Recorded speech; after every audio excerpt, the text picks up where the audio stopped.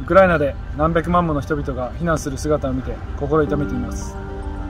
そのため私たちはフットボール・フォー・ウクライナを立ち上げました。私たちが一つのチームとして共に立ち上がれば。ウクライナの紛争の影響を受けている家族のために誰もが変化を起こすことができます。UNHCR と WFP はウクライナや近隣諸国で紛争の影響を受けた人々を支援するために日夜活動しています。